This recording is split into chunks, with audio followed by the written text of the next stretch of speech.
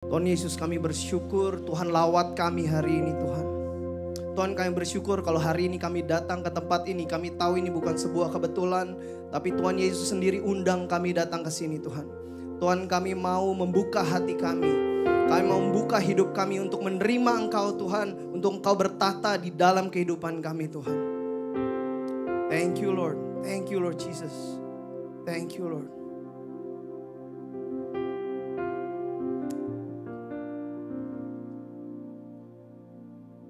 Mari kita beri kemuliaan yang luar biasa untuk Tuhan Allah kita yang luar biasa.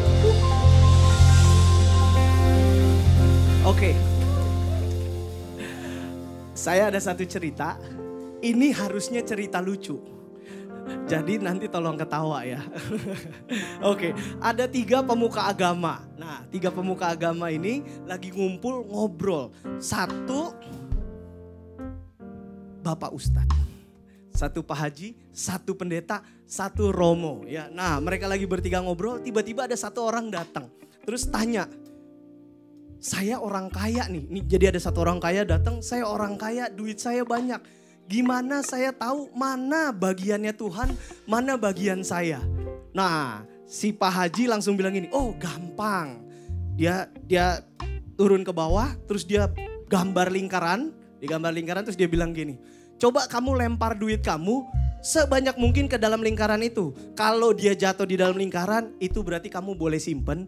Kalau dia jatuhnya keluar, itu berarti punyanya Tuhan, katanya gitu ya. Terus orang itu lempar tek tek tek, ada yang jatuh, ada yang keluar. Nah, terus Bapak pendeta bilang kayak gini, "Eh, saya punya lebih gampang."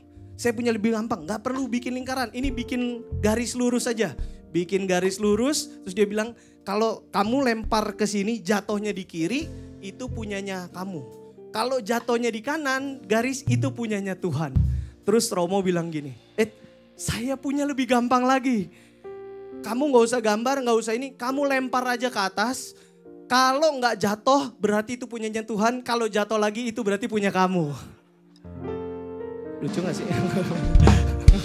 Oke, okay, bercanda ya. It's just a joke, uh, teman-teman. Tapi uh, Tuhan kita adalah Tuhan yang murah hati. Tuhan kita Tuhan yang lihat hati dia nggak lihat dia nggak lihat bukan Tuhan yang kaku ya bukan tentang peraturan ini tentang hati sama kayak waktu uh, Tuhan minta Abraham persembahkan Ishak ya dia minta uh, Ishak dikorbankan basically Tuhan bukan pengen benar-benar korbanin Ishak tapi Tuhan pengen lihat hatinya Abraham Tuhan pengen lihat kasihnya Abraham ketaatannya Abraham dan saya bersyukur saya berterima kasih teman-teman semua Anda sudah datang ke hari ini, Anda datang ke tempat ini, Anda kasih hati Anda buat Tuhan, Anda taat. Saya tahu hari Sabtu tuh godaannya banyak, benar gak? Hari Sabtu tuh kita bisa tinggal di rumah nonton Netflix. Hari Sabtu kita bisa nongkrong di Starbucks, nonton di uh, eh, XX1 gitu ya. Nah tapi teman-teman semua You guys come here membawa hati Anda, membawa hidup Anda. Saya percaya bahwa pulang dari sini hidup Bapak Ibu teman-teman semua akan diubahkan. Oke, ada first timer? Ada yang baru pertama kali datang ke tempat ini boleh tunjuk tangan? Yeay, boleh kasih aplaus yang meriah. Teman-teman di sekitarnya boleh kasih salam, boleh uh, sapa, boleh peluk sampai nggak bisa napas ya. Oke, okay, welcome to this family, welcome. Uh, jadikan tempat ini uh, keluarga Anda, ya jadikan tempat ini uh, rumah Anda. Mari kita berdoa uh, our favorite play, uh, prayer. Yuk. Dalam nama Bapa dan Putra dan Roh Kudus. Amin. Today I receive all of God's love for me. Today I open myself to the unbounded, limitless, overflowing abundance of God's universe. Today, I open myself to God's blessings, healing, and miracles. Today, I open myself to God's word so that I become more like Jesus every day. Today, I proclaim that I'm God's beloved, I'm God's servant, I'm God's powerful champion. And because I'm blessed, I'm blessing the world.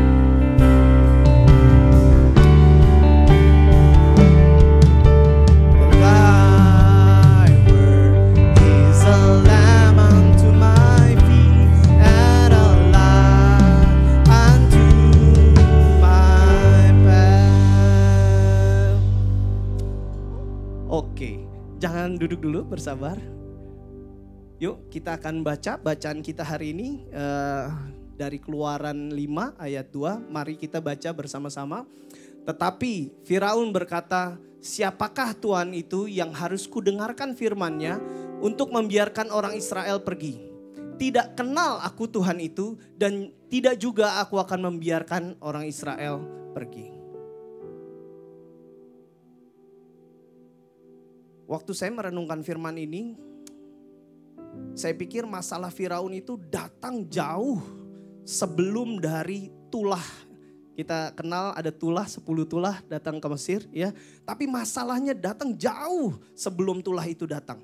Masalahnya datang ketika Firaun bilang, aku tidak kenal. Tidak kenal aku Tuhan itu, maka dia tidak membiarkan orang Israel pergi. Maka masalah datang ke Mesir, akhirnya Uh, kita semua baca ceritanya nanti habis ini Brother David akan cerita lebih jauh. Tapi saya ada satu cerita sebelum uh, Brother David akan naik. Saya punya tiga anak. Uh, anak saya yang paling gede namanya Sean, yang kedua Sky, yang ketiga Sydney. Nah uh, kemarin Sky sama Sydney udah mulai masuk sekolah. Jadi saya sama Sean sama istri saya nganter ke sekolahnya Sky sama Sydney. Begitu udah nyampe, nganter, terus nungguin di sana, akhirnya pulang, kita jalan pulang ya. Begitu udah lihat jam, oke okay, jalan pulang. Sepertiga perjalanan, tiba-tiba Sydney nanya, Shan mana? Wah, saya kaget.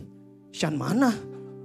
Saya nengok, kebetulan istri saya lagi nyetir. Jadi nyetir istri, istri saya, saya lagi siapin bahan buat hari ini gitu ya. Jadi nggak konsen, hah Shan mana?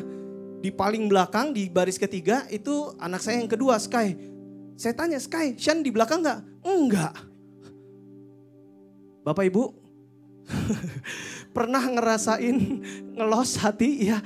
Itu tiba-tiba, Shan kok nggak ada? Putar balik, panik. Saya sampai bilang, udah ayo nak, nak tuker tuker. Saya pengen, saya yang nyetir, saya pengen buru-buru segera nyampe ke sekolah. Karena saya udah kebayang, ini anak itu kan bukan sekolah dia, itu bukan lingkungan dia, dia nggak dia nggak kenal, dia nggak kenal guru, nggak kenal nggak kalau ini di sekolah dia mungkin dia langsung bisa uh, ngomong sama satpam, bisa ini ya. Tapi ini dia ini situasi di mana bener-bener dia nggak kenal siapa pun di sana. Saya udah ngebayangin ini anak pasti panik, ini mungkin dia nangis gitu ya. Mungkin Waduh, saya udah pokoknya buru-buru nyetir, ngebut ya, nyalip-nyalip. Mohon maaf ya karena udah panik, ngebut, nyalip-nyalip. Begitu nyampe, saya lihat itu anak lagi celingukan di parkiran. Saya langsung turun, lari, saya peluk dia, saya bilang, Shan, I'm sorry.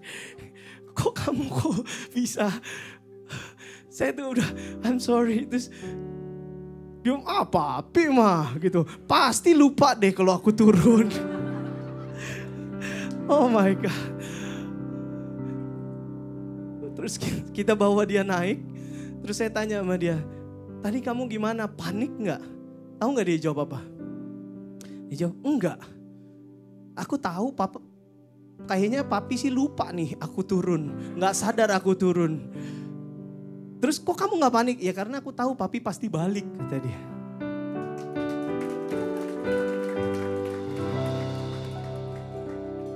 Hari itu saya belajar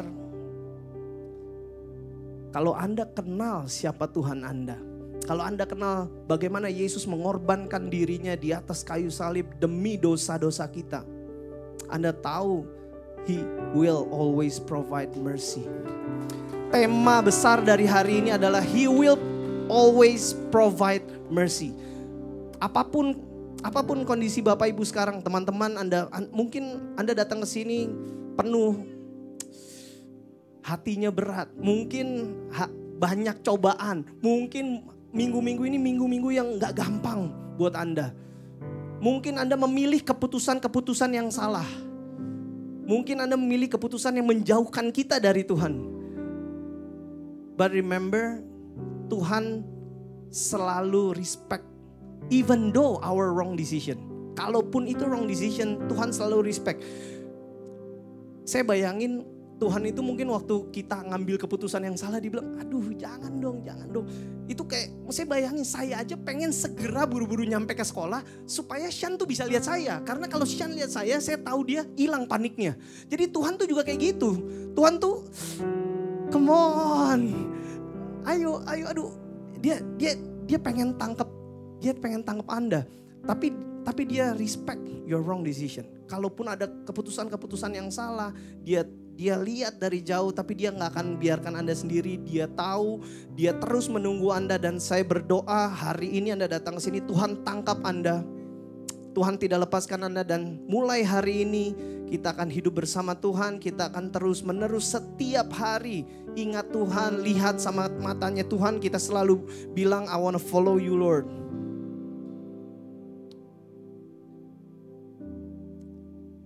Tuhan Yesus aku berdoa supaya kami semua yang datang hari ini Tuhan. Kami bisa sungguh-sungguh menerima firman-Mu. Kami bisa sungguh-sungguh menerima suaramu sendiri Tuhan. Tuhan berbicara pada kami secara pribadi masing-masing di, di hati kami Tuhan. We want to worship you Lord. Kami mau belajar, kami mau pulang dari sini semakin dekat dan semakin serupa dengan Engkau Tuhan Yesus.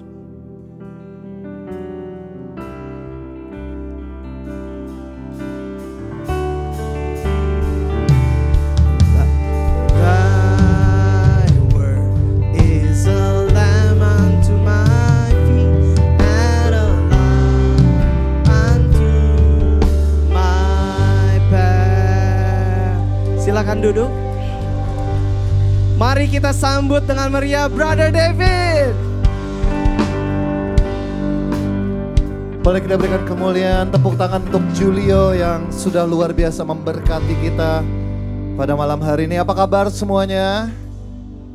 Saya berdoa dan berharap bahwa ketika saudara hadir dan nanti keluar, saudara dikatakan Romo tadi kita menjadi pribadi yang baru, yang berbeda. 13 Juli kemarin itu hari yang terindah buat istri saya Kenapa? Karena dia baru saja merayakan ulang tahunnya yang ke tit nggak boleh dibilang gitu ya. Karena cukup sensitif bagi wanita untuk disebutkan umurnya. 17 tahun sebenarnya. Saya nggak mau bohong kepada saudara. Plus plus gitu ya. Nah, yang berbeda adalah setelah satu putaran sio dia bilang, kalau saudara ada lihat postingan IG story dari istri saya, jadi satu putaran sio itu berarti 12 tahun ya. Karena 12 tahun yang lalu itu pertama kali saya memberikan bunga pada waktu dia ulang tahun. Jadi dia spesial posting. Dan saya juga kaget tadi salah satu uh, event tim kita datang, kok thank you untuk ini. Apa? Koko sudah ngasih bunga.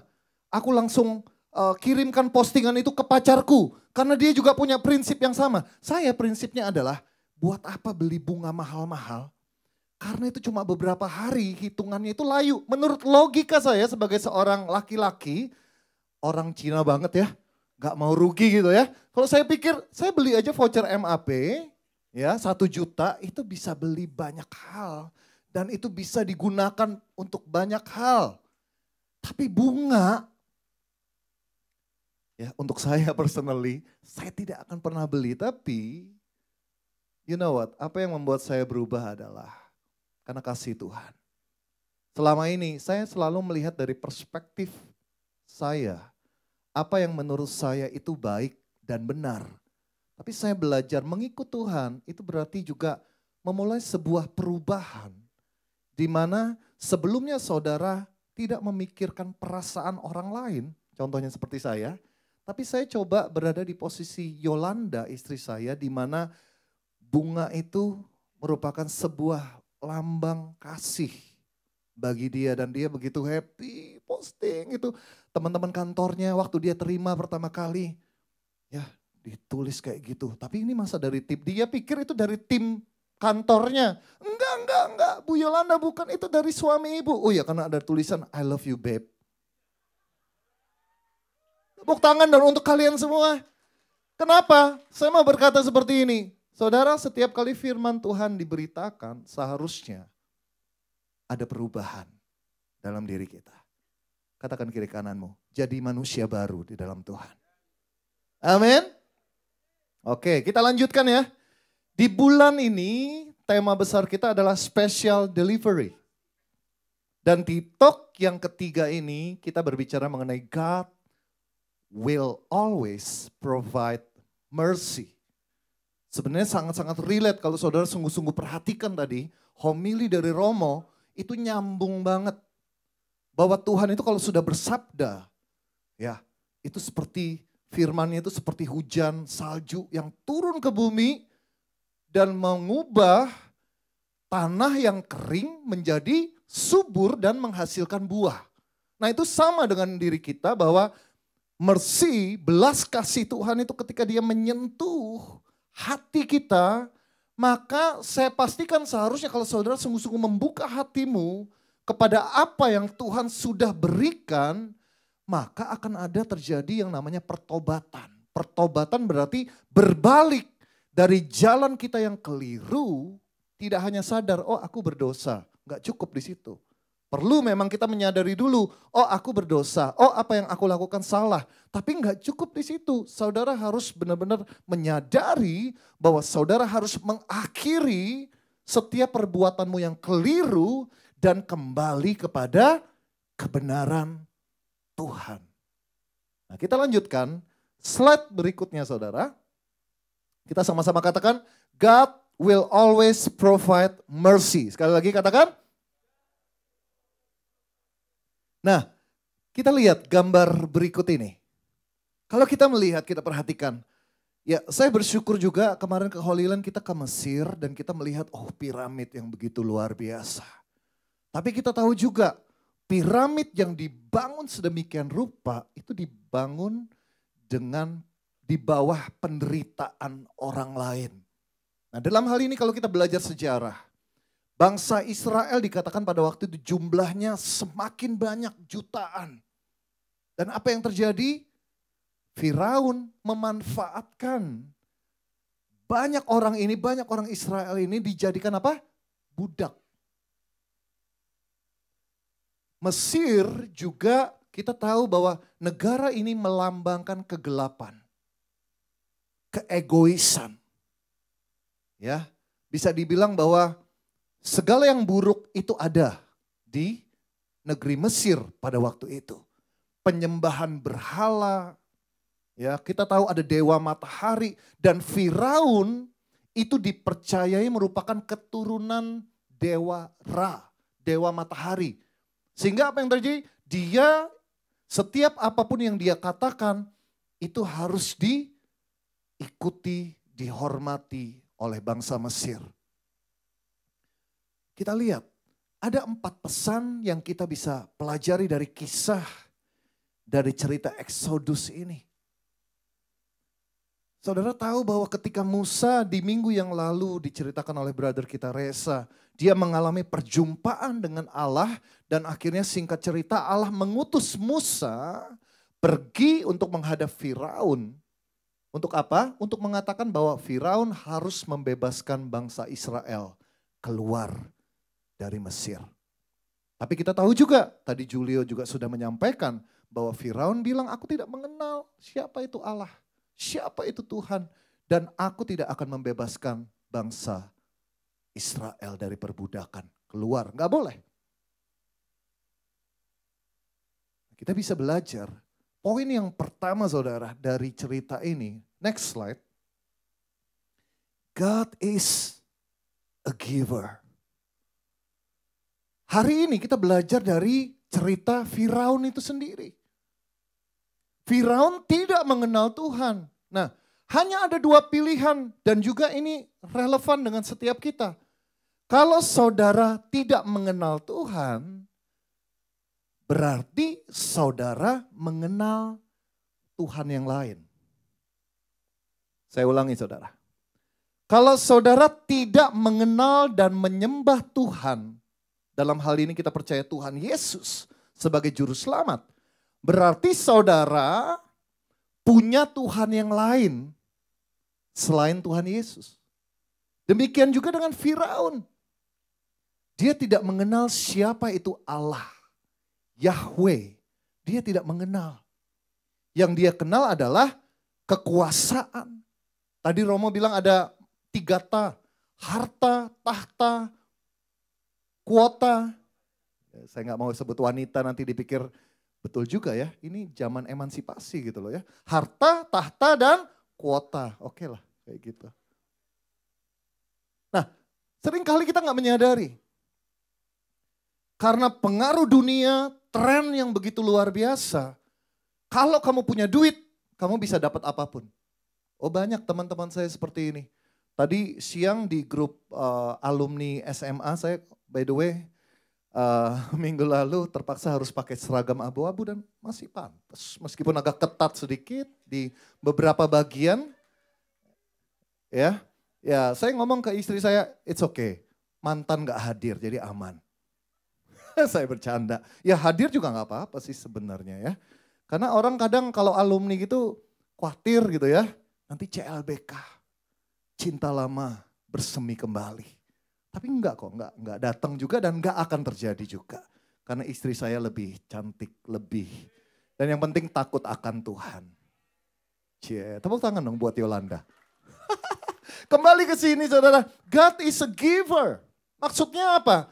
Tuhan itu Tuhan yang memberi seperti kasih ibu itu tidak harap kembali.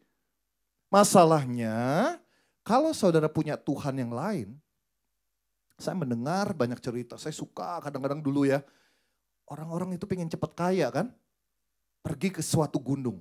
Saya pernah pergi ke gunung itu, diajak koko saya pada waktu itu, karena dia percaya seperti itu. Ada yang tidur di bawah pohon, kalau saudara ngeh, it's okay, saya nggak perlu sebutkan nama gunungnya. Tidur di bawah pohon, kalau kejatuhan buah atau daun aja dari pohon itu dipercayai kamu simpen, kamu akan terus kaya. Wah ada yang melakukan ritual-ritual dan lain sebagainya, muti dan lain sebagainya. Saya juga mendengar cerita di Surabaya, ada yang jualan ini begitu laris. Tapi selalu ada yang namanya itu tumbal. Either keluarganya itu nanti meninggal, anaknya dikorbankan dan lain sebagainya. Atau rumah tangganya itu tidak harmonis, selalu ada masalah. Karena pada dasarnya cuma ada satu Tuhan dan satu Allah yang memberikan kasihnya totalitas cuma-cuma untuk menyelamatkan kita, yaitu Tuhan kita Yesus Kristus. Yang lain saudara selalu meminta sesuatu imbalan, bahkan juga sebenarnya sedang membawa saudara jauh dari keselamatan. Membawa saudara semakin lama semakin dekat yang namanya kematian yang kekal. Itulah kenapa Tuhan Yesus bersusah payah sampai di, mati di atas kayu salib. Itu sebenarnya melambangkan sebuah kasih yang begitu luar biasa. Karena dia begitu mengasihi kita, begitu mengasihi dunia ini sampai dikatakan apa? Ia mengaruniakan anaknya yang tunggal Tuhan kita Yesus Kristus supaya kita ini diselamatkan. Nah, itu itu Tuhan kita. Saudara harus tahu kenapa saya perlu jelaskan hal ini. Karena kalau saudara dikatakan Julio tadi karena kalau nggak kenal anaknya juga bakalan khawatir. Tapi anak dari Julio tahu, Sean tahu. Papaku ini pasti akan balik meskipun ngebut, meskipun gimana caranya pasti dia akan balik. Dia gak khawatir. Karena dia tahu siapa papanya. Pertanyaannya, tahukah saudara siapa Allah saudara? Saudara hadir setiap Sabtu atau saudara pergi ke misa tiap minggu persekutuan doa, komunitas yang lain mungkin saya nggak tahu bagaimana saudara beribadah. Tapi pertanyaannya, pertanyaannya adalah, sungguhkah saudara benar-benar mengenal? Belum tentu. Saudara tahu, tapi saudara belum mengenal. Kanan kiri saudara aja belum tahu, saudara belum tentu saudara kenal. Saudara mungkin tahu namanya. Kenal berarti ada relasi. Sudahkah kita membangun relasi dengan Tuhan? Ini pertanyaan untuk kita, termasuk saya juga, saudara. Next slide. Nah, Tuhan ya, ini nanti kita belajar. Bangsa Israel itu dibawa keluar dari Mesir, dari perbudakan. Di padang gurun, uh,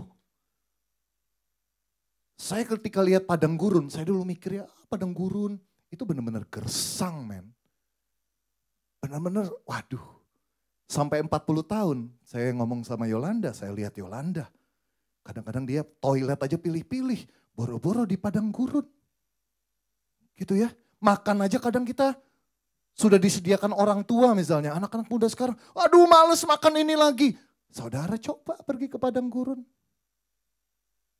Tapi Tuhan tahu kebutuhan kita sekali lagi, bukan keinginan kita. Nah, makanya ketika lapar dikasih apa? Mana. Mana surgawi. Roti yang turun dari surga. Setiap hari disediakan. Nah kita tahu ceritanya. Ngomel, dikasih roti, ngomel. Kok nggak ada daging? Wah enakan di Mesir. Meskipun bekerja keras tapi masih ada yang namanya makan daging. Oke. Tuhan dengar. Tuhan kirimkan burung puyuh. Bosen lama-lama. Ngomel lagi. Gak ada habisnya. Nah itu kita bisa belajar dari bangsa Israel. Seringkali kita tahu God is a giver. Tuhan itu mas, maha pemberi sebenarnya. Tapi masalahnya adalah bukan apa yang kita mau, tapi yang kita perlu. Kadang-kadang nggak match. Kita kadang nggak perlu, tapi kita pengen. Betul? Kita kadang ya beli gadget lah contoh. Yang paling gampang. Berapa banyak? Udah mahal-mahal 25 juta. Dipakainya cuma buat selfie. Pakainya cuma buat WA. Tapi di tangan misalnya kayak Iswara atau Doni yang bikin musik. Aku tanya waktu itu sama Iswara, music director kita Kenapa lu harus beli Apple sedemikian mahalnya? Oh aku perlu karena itu bisa bikin uh, buat kerjaanku dan make money. Make sense. Tapi di tangan kita kadang-kadang demi gengsi, belum tentu karena kebutuhan kita tapi karena keinginan kita. Nah ini loh, kadang-kadang orang akhirnya karena keinginan, ini jadi Allah kita ya, salah satu contohnya ya. Jadi Allah kita, kita menghalalkan segala cara untuk memperoleh keinginan kita. Nah itulah karena Firaun tidak mengenal Allah.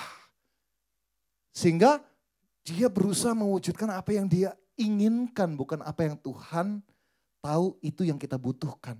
Akhirnya apa? Perbudakan, penyembahan berhala, dan lain sebagainya itu terjadi. Next slide. Boleh kita baca sama-sama 3, 2, 1. If you serve the gods of greed, lust and pride like like Pharaoh, they will eat up your life. Gak ada yang gratis saudara. Hanya Tuhan Allah kita yang memberkati kita secara cuma-cuma. Bahkan kalau saudara berpikir pujian saudara, penyembahan saudara, kehidupan saudara yang baik sesuai dengan firman Tuhan. Kadang-kadang itu yang kita jadikan apa? Balasan. Kita pikir kita bisa balas. Gak bisa. No, itu ekspresi kita. Tuhan nggak minta pujian saudara. Sekali lagi enggak.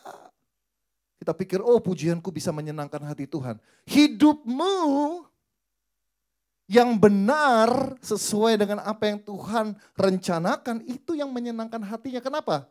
Karena seperti analogi seorang ayah tadi, nggak ada ayah yang ingin anaknya itu celaka atau hidupnya itu nggak enak, nggak ada.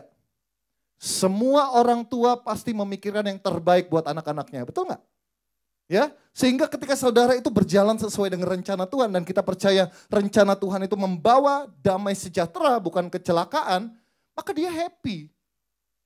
Makanya kalau kita disuruh taat firman, hidup benar, itu bukan untuk keuntungan Tuhan. Tapi itu sebenarnya menjaga kita supaya on track kalau saudara pergi ke jalan tol atau ke jalan raya, ada rambu-rambu. Itu untuk apa? Untuk keselamatan kita. Firman Tuhan jangan dijadikan itu sebagai penghalang. Aduh nggak asik kah? Jadi anak Tuhan kadang-kadang kok nggak enak sih dibatasi ini, dibatasi itu. Kalau kita memikir selalu seperti itu, akhirnya ketika kita diminta untuk melakukan firman Tuhan, kita akan menganggap itu sebagai sebuah beban, bukan sebagai sebuah anugerah. Tapi kalau saudara lihat dari perspektif Tuhan, saudara akan mengerti. Oh iya, Makanya biasa banyak orang itu baru bertobat setelah jadi orang tua. Kenapa? Dulu kita waktu anak kita ngomel-ngomel ya, gak boleh ini, gak boleh itu. Seakan-akan orang tua kita itu jahat.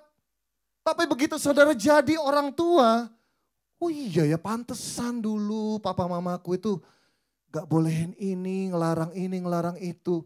Bukan mereka jahat. Tapi mereka tahu yang terbaik buat anak-anaknya dan itu adalah Tuhan kita. Amin. Next slide. Jangan tertekan gitu ya, waktu saya firman kayak saudara tertekan gitu ya. Ya santai aja, santai, santai. Nah Matius 6 ayat 26 dikatakan look at the birds.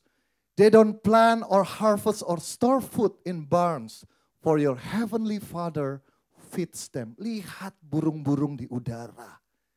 Mereka itu tidak menanam, tidak berbuat apa-apa, tapi Tuhan sediakan. Amin. Jangan berpaling kepada Allah-Allah yang lain. Kita punya Tuhan, punya Bapa yang sanggup untuk memenuhi segala kebutuhan kita seturut dengan kekayaan dan kemuliaannya. I love, I, I really love apa yang Paulus katakan saudara. Benar. Iya ya. Makanya coba semakin kita istilahnya bersekutu seperti ini, semakin saudara sering mendengar firman Tuhan, semakin saudara sering melakukan firman Tuhan, maka saudara akan semakin tajam dalam hal apa? Dalam hal mengerti perspektif saudara ini tidak lagi sekarang di bawah, tapi saudara mulai naik, naik dan mengerti, oh ini perspektif Tuhan itu seperti ini. Itu, itu yang membedakan saudara akhirnya semakin dewasa secara iman. Tidak lagi menganggap bahwa iman ini sebagai sebuah batasan yang gak enak. Maka kuk yang kupasang dia bilang itu ringan. Maksudnya itu saudara. Bukan untuk mengganggu saudara, membatasi saudara. Tapi supaya sekali lagi saudara on the track. Next slide. God is a giver. God is my great provider. Tuhan itu yang luar biasa menyediakan segala kebutuhan kita. Kenapa saya tekankan ini saudara? Karena sekali lagi kalau saudara mengenal siapa Tuhan saudara, maka saudara tidak akan pernah berpikir untuk mencari Tuhan-Tuhan yang lain. Saudara tidak akan pernah berpikir untuk menyembah Tuhan-Tuhan yang lain, apa pun bentuknya sekarang ini.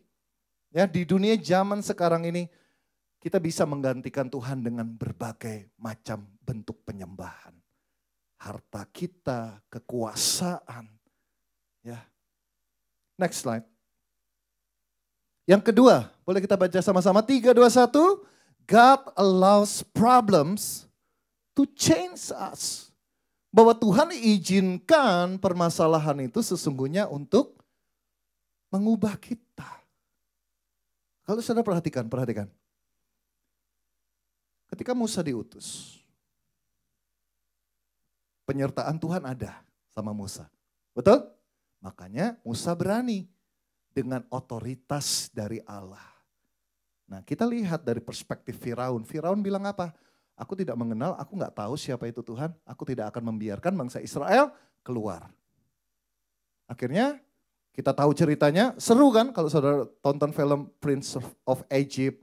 Dulu zaman saya waktu saya ingat SD atau SMP ya, pokoknya jadul banget filmnya. The Ten Commandments. Uh itu rame-rame satu kelas SD kalau nggak salah. Kita pergi ke bioskop nonton bareng. Uh itu keren banget kalau saya sekarang lihat. Gile dulu keren banget, sekarang kayak jadul banget gitu ya.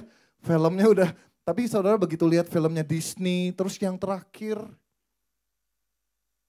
itu kan Hollywood berusaha mendramatisir apa yang terjadi kan. Kadang yang nggak ada di Alkitab ditambah-tambahin drama gitu ya. Tapi sebenarnya kalau saudara membaca cerita di keluaran, itu jauh-jauh lebih menarik. Kalau saudara ikuti talk ini dari yang pertama, saudara akhirnya mengerti, oh ternyata Musa pun mengalami yang namanya krisis identitas.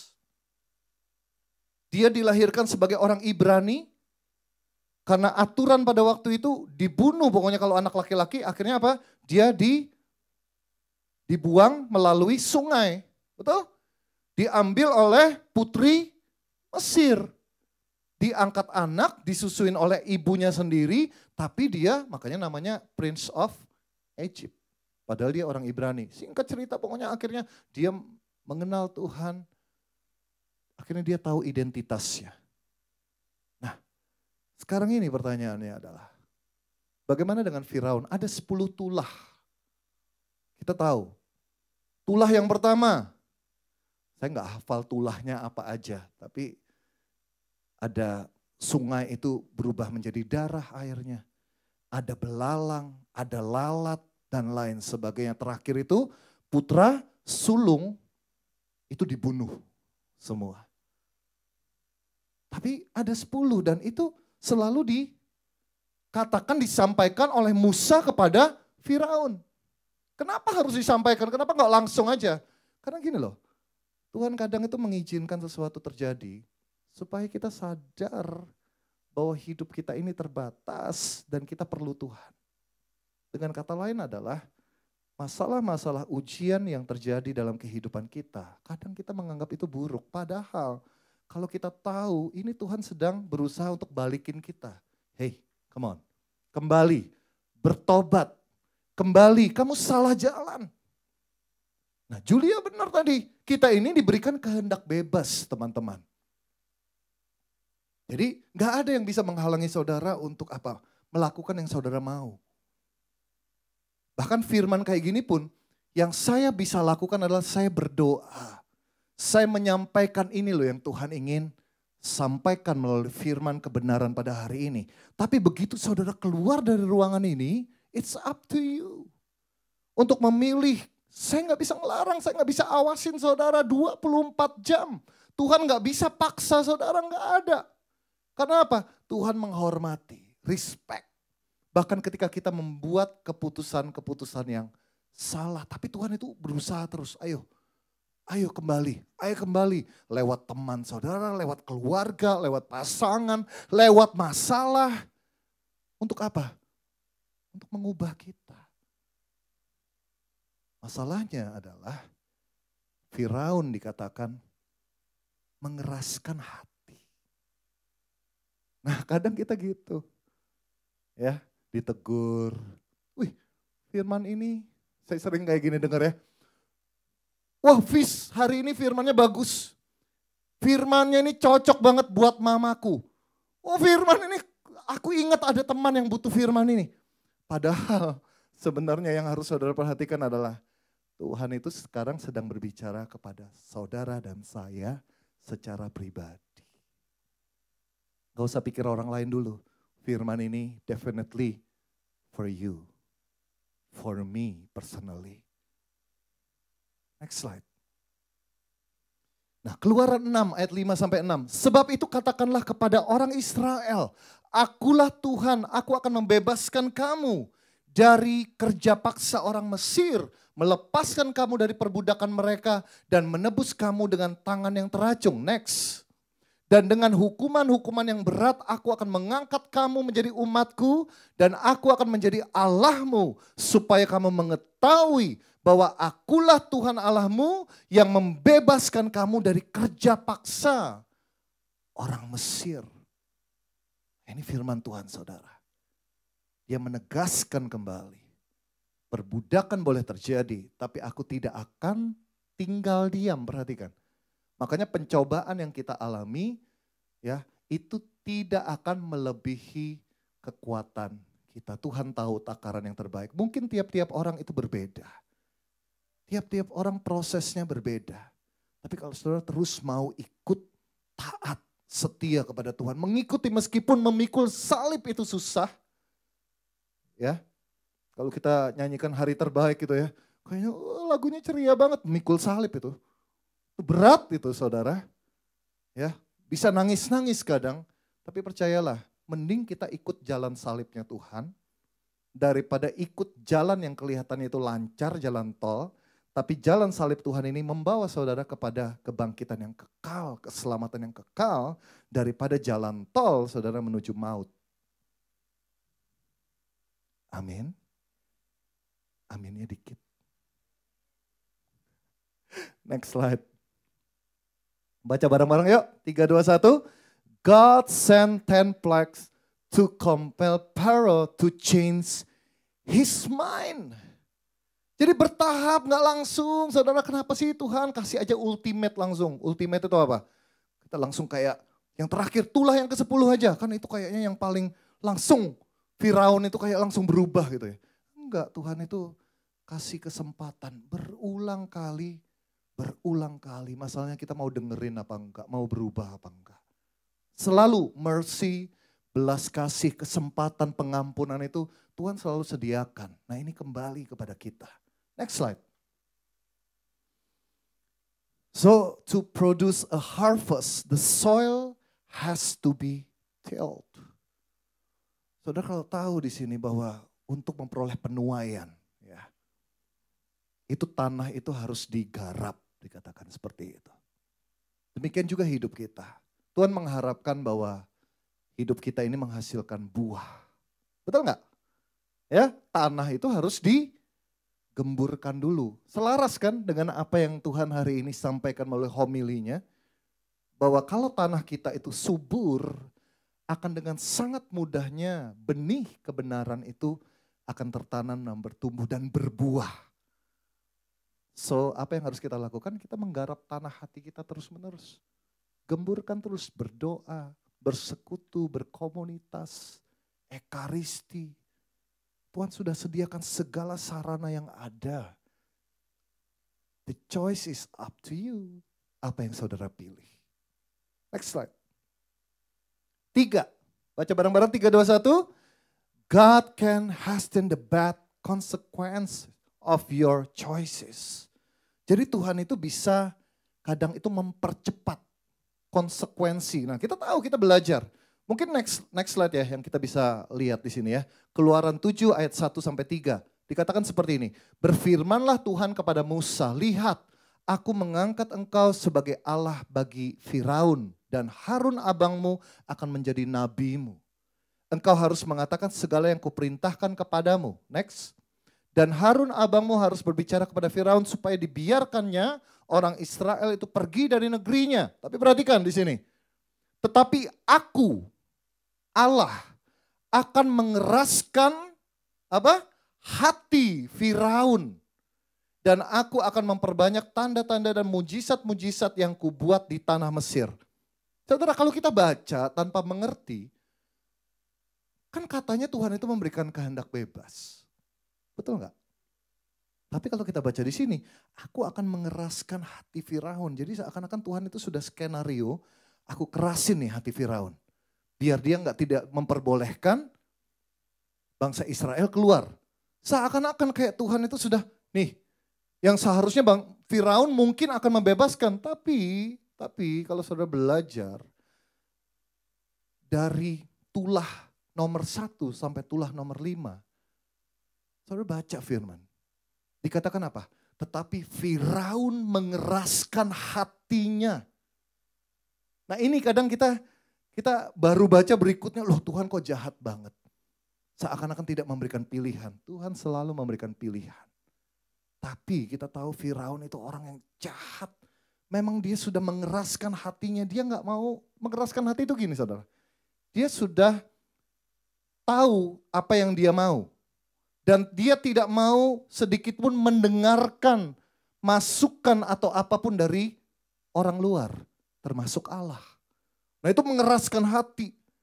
Ngeyel gitu kayak orang gampangnya gitu ya. Jadi benar-benar keras kepala, bebal udah nggak mau berubah lagi. Dan dia mau situ bahkan sampai itulah yang ke-10 baru dia itu terpaksa banget. Karena bangsanya juga ngomel, ayo bebaskan aja bebaskan. Bahkan terakhir pun kalau sudah lihat, setelah dibebaskan dikejar lagi.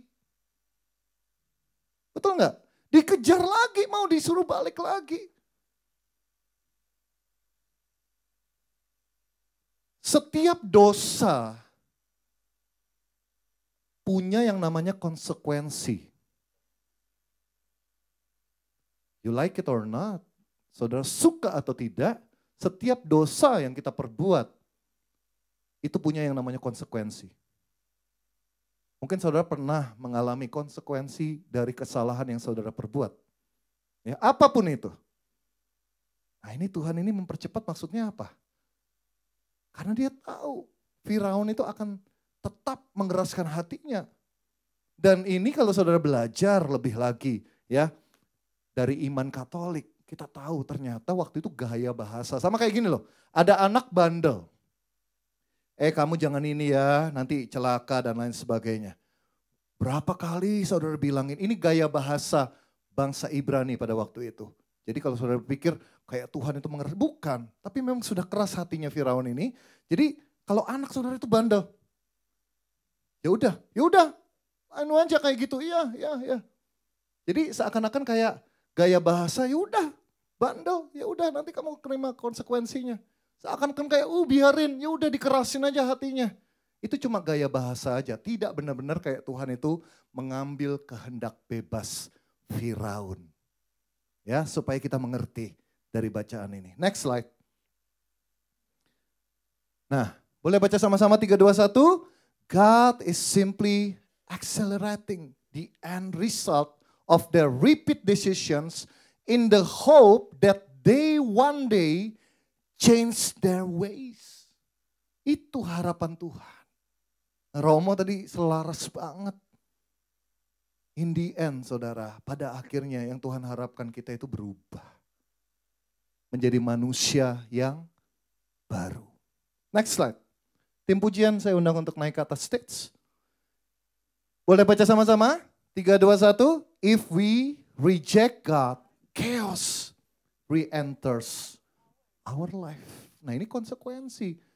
Cuma ada dua pilihan. Kita menerima Tuhan, maka hidup saudara penuh dengan damai sejahtera. Bukan berarti nggak ada masalah ya, tapi saudara akan hidup penuh dengan damai sejahtera dan sukacita. Yang kedua adalah ketika reject, ya jangan heran kalau ada kekacauan terjadi dalam hidup kita. Beda ya, kekacauan masalah, beda kekacauan berarti saudara tidak punya pegangan yang benar-benar solid dan kuat. Kalau kita bersama dengan Tuhan, Tuhan bilang, sekalipun engkau berada dalam lembah kekelaman, aku akan menyertai engkau. Dia Allah Immanuel teman-teman. Next slide. Yang keempat, yang terakhir. Baca sama-sama, 3, 2, 1. God will always provide mercy. Saya langsung cepat ke tulah yang ke-10. Kalau kita baca bacaan ini, Firaun melakukan hal yang kurang lebih sama. Waktu dia melihat bangsa Israel itu semakin banyak jumlahnya, dia takut. Kalau sampai memberontak kalah nih bangsa Mesir. Sehingga dia putuskan pada waktu itu semua bayi laki-laki itu harus dibunuh. Tulah yang ke-10, saudara tahu apa yang Tuhan lakukan? Tuhan membunuh putra sulung. Semuanya. Tapi ingat, setiap tulah itu Musa itu selalu menghadap ini loh. Allah berfirman. Jadi sudah ada warning terlebih dahulu saudara. Sudah diperingatkan. Dengan kata lain, Firaun dan bangsa Mesir bisa membuat pilihan untuk apa? Untuk tidak mengalami tulah tersebut. Punya pilihan. Tuhan selalu memberikan pilihan. Enggak, enggak langsung tiba-tiba konsekuensi. Enggak, eh diingetin, diingetin terus masalah kita yang bandel. Kita nggak mau menerima rahmat dari Tuhan. Kita pilih karena kedagingan kita. Karena pengaruh dunia ini yang begitu luar biasa. Karena kita jauh dan kita tidak mengenal Tuhan.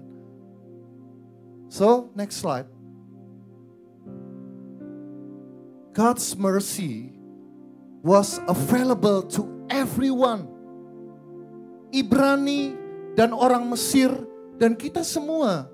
Kita bersyukur bahwa rahmat Tuhan ini terbuka untuk setiap kita yang mau percaya kepadanya. Amin. Next slide.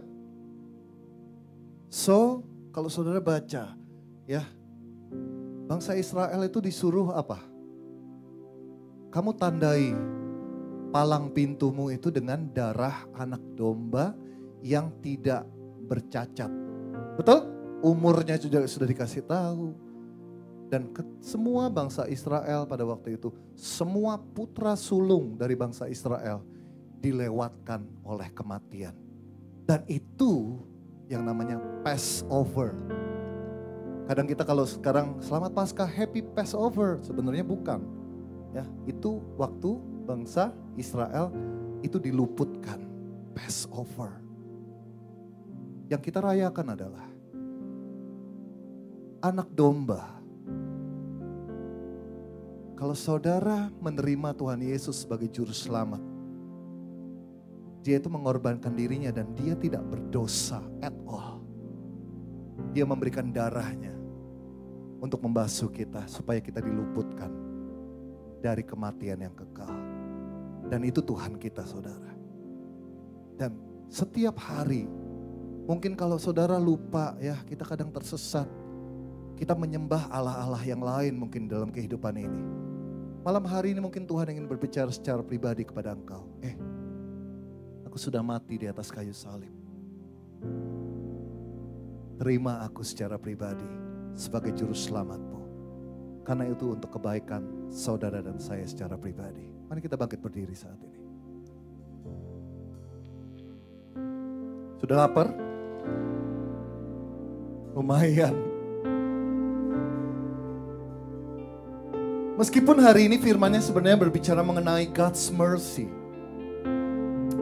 Tapi saya tertarik dengan firman ayat yang kita pakai. Boleh next slide? Ini loh ayat yang menarik bagi saya. Saya sungguh-sungguh belajar dari Firaun. Tahukah saudara, siapakah Tuhan itu yang kudengarkan firmannya untuk membiarkan orang Israel pergi? Tidak kenal aku Tuhan itu. Kemarin uh, di grup heads leader di FIS Jakarta ini, uh, Samantha itu posting tentang apa? Tentang gembala dan domba yang hilang. Saya cuma waktu itu nyeletuk karena Tuhan juga kasih hikmat. Kadang kalau sudah melayani gitu ya, saya berkaca juga pada diri sendiri. Kadang kita mengumpamakan diri kita itu kayak gembala. Terus kayak orang lain itu perlu kita selamatkan gitu loh. Tuhan memakai kita. Betul, di satu sisi betul. Tapi saya juga refleksikan pada diri sendiri. Belum tentu saya yang sudah kenal Tuhan, melayani sekian puluh tahun. Di posisi sekarang ini mungkin bisa jadi saya the lost sheep. Karena apa? Karena godaan itu datang tiap hari. Penyesatan itu bisa datang tiap hari saudara. Makanya kita perlu tiap hari aware kepada kasih Tuhan. Makanya perlu tiap hari itu pertobatan itu nggak cuma pasca dan Natal. Tapi pertobatan itu harus terjadi tiap hari. Terus menerus. Dekatkan dirimu, jangan sampai kau seperti Firaun. Siapakah Tuhan itu? Kalau ada di antara kita yang penuh dengan kekhawatiran akan masa depan, saya juga mengalami hal yang sama. Tapi semakin saya mengenal siapa Tuhan kita, dia Jehovah Jireh. Allah yang menyediakan. Maka kekhawatiran itu kalah dengan pengenalan saya dengan Tuhan. Kalahkan setiap kekhawatiranmu. Kenapa saya mengungkit kekhawatiran ini? Karena kadang kekhawatiran ini merupakan celah bagi saudara untuk mencari Allah lain yang instan yang bisa kita lihat, oh ini loh langsung saudara dapat jawaban yang instan. Romo tadi bilang, kadang waktu Tuhan itu beda dengan waktu kita, tapi waktu Tuhan itu pasti yang terbaik. That's why I really love this song. Boleh kita nyembah Tuhan saat ini? Saya tahu saudara lapar. Ya, saya tahu saudara habis ini punya rencana yang lain. Tapi boleh nggak malam hari ini?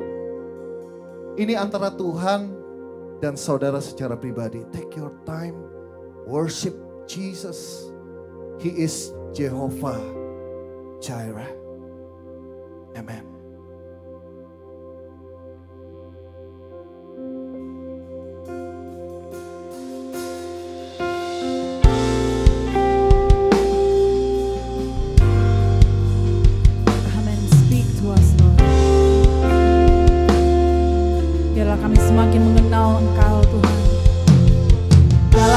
Dalam hati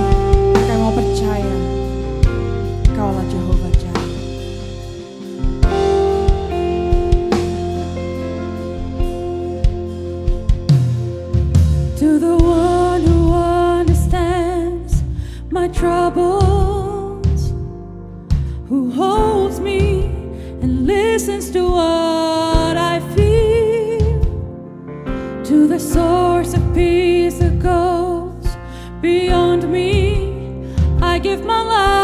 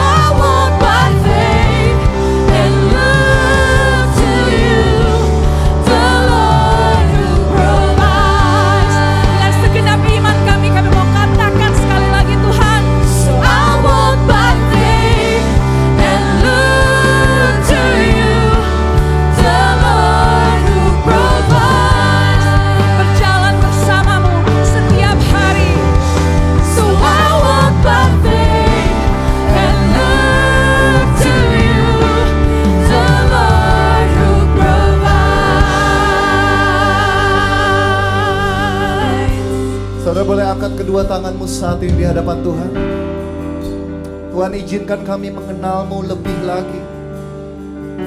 Ketika kami tahu that you are Jehovah Jireh.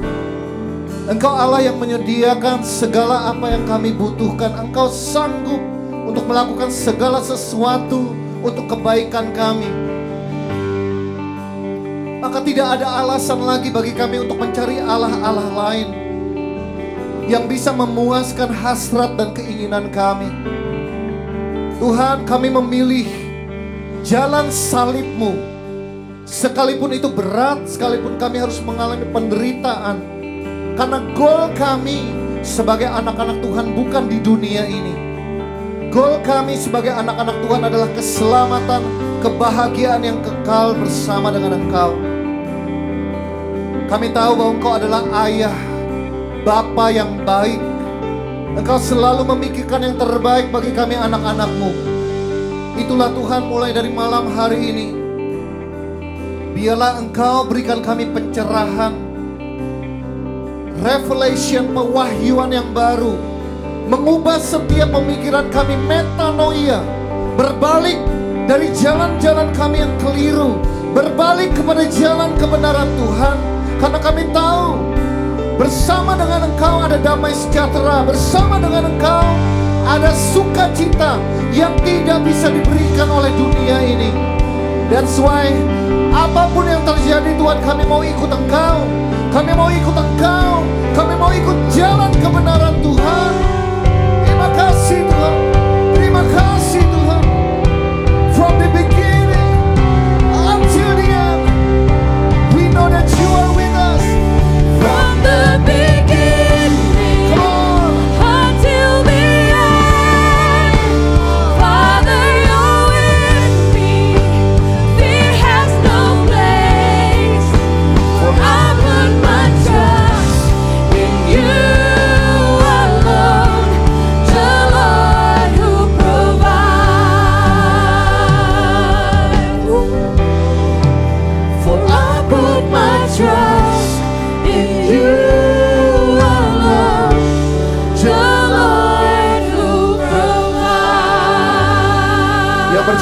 sorak-sorai kemuliaan bagi Tuhan kita.